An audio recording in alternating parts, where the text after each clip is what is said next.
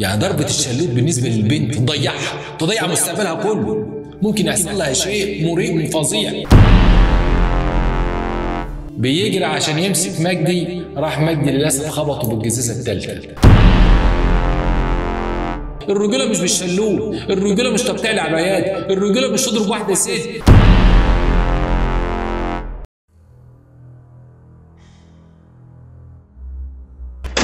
إن عواقب ارتكاب الجريمة وخيمة جدا. ستودي بك إلى أوضاع مأساوية حزينة.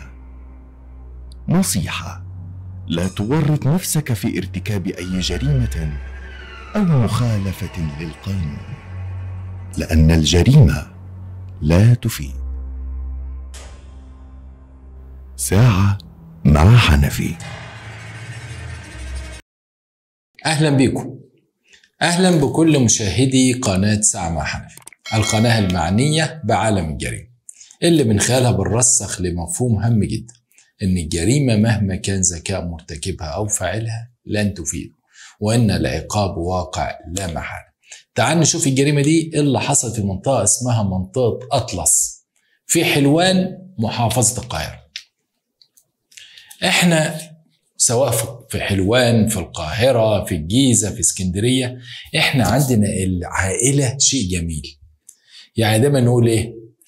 أنا وأخويا على ابن عمي وأنا وابن عمي على الغريب. في نوع القربة وصلة الرحم مهمة جدا. طيب تعال نشوف جريمة القتل دي تمت إزاي. بنت عندها 16 سنة اسمها بسملة. 16 سنة بتهزر مع ابن عمتها وابن عمتها بيهزر معاها.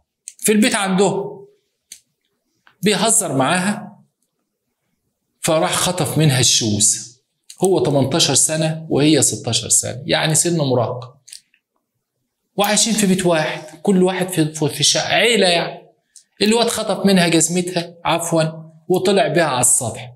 جرت البنت وراها على السطح. هات الجزمة هات الجزمة والصوت على السلم. في الوقت ده الأم ندمت على بنتها يا بسملة يا بسملة تعالي عشان تاكلي حاضر يا ماما خدت الجزمة وراحت نزلت. الواد اللي عنده 18 سنة ليه أخ اسمه مجدي عنده 26 سنة.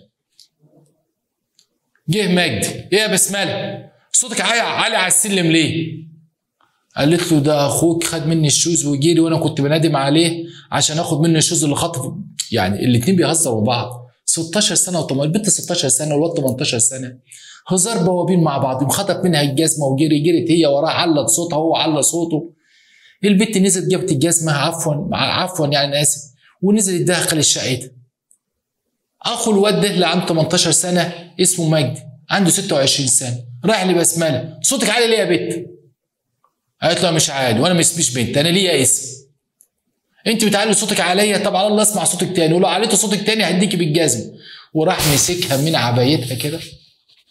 من هو من رقبتها قالت له اوعى إيدك كده.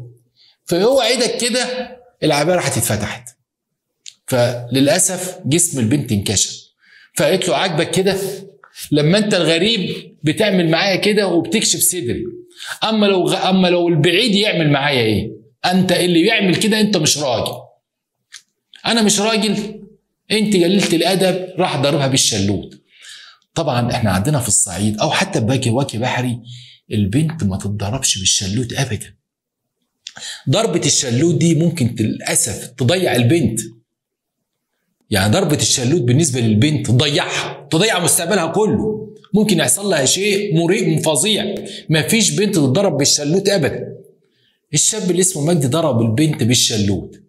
أمها واقفة راحوا ماسكينه وراح أخو البنت اللي اتضربت دي مسك فيه ما تضربش أختي وأمه وأم البنت ما تضربش البنت مسكوا بعض راح ضرب الواد وضرب أم البنت بسمله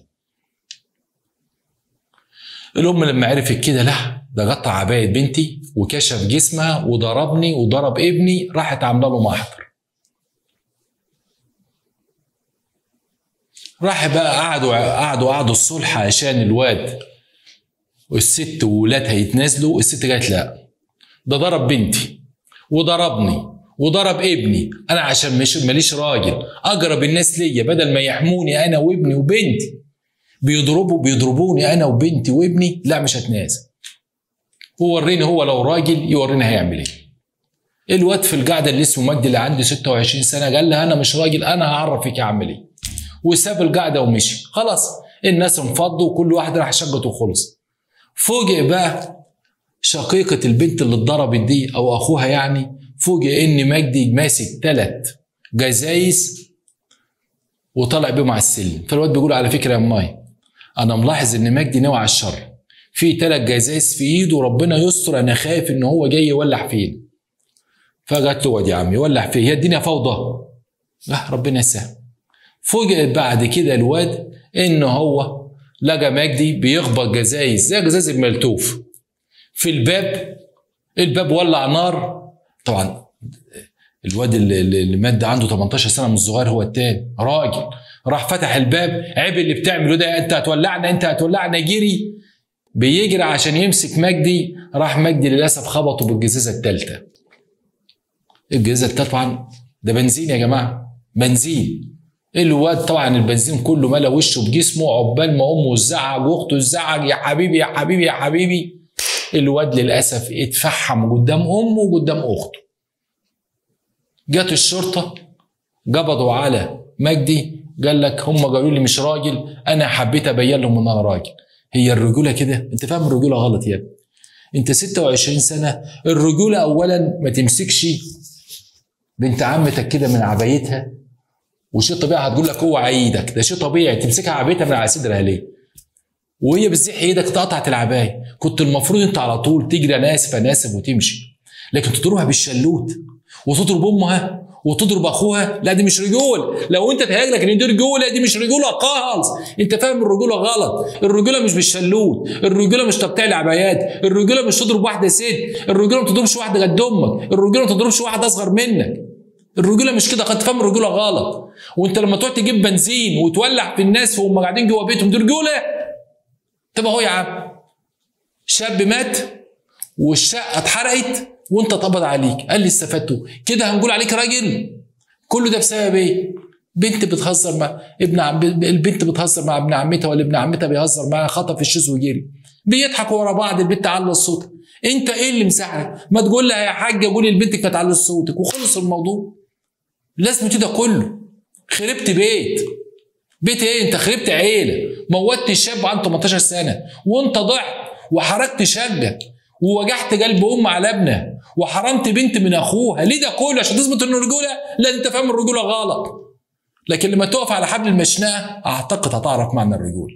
نتمنى القضاء العادل يكون القصاص فعلا سريع هنقول إيه؟ لله الأمر من قبل ومن بعد. أشكرك.